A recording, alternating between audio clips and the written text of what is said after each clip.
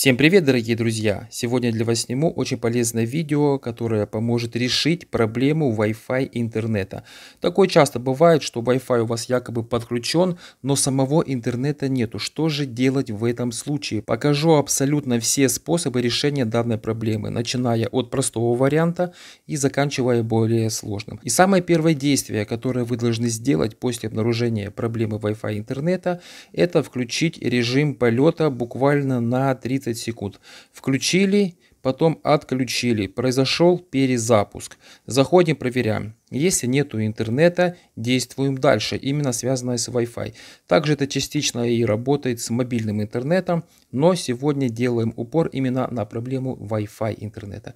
Итак, первый способ, к примеру, вам не помог. Если помог, то отлично, пользуйтесь на здоровье, поддержите видео лайком, напишите комментарий.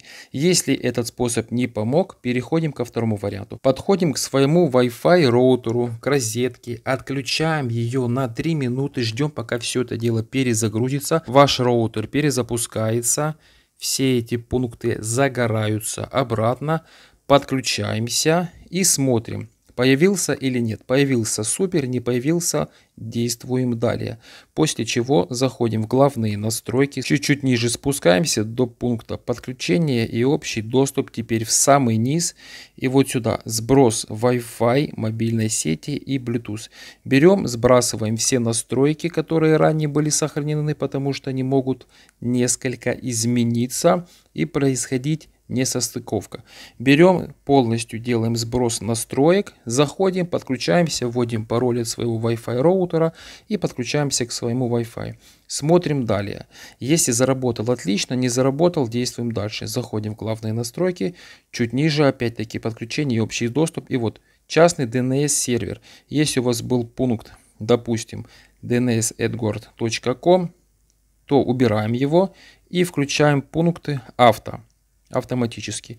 Сохраняем, смотрим на интернет. Есть нету, но действуем дальше. Если нету, заходим в главные настройки, Wi-Fi.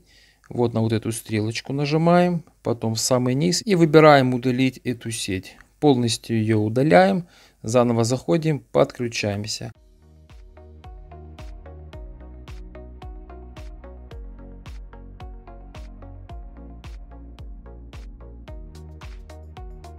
И вот такие нехитрые действия помогут вам вернуть полноценную работу вашего Wi-Fi роутера, подключение к интернету и пользоваться, так сказать, им на здоровье. Надеюсь, это видео понравилось, оно поможет вам решить проблему с вашим интернетом Wi-Fi, домашним интернетом или рабочим, либо каким-то общественным интернетом Wi-Fi.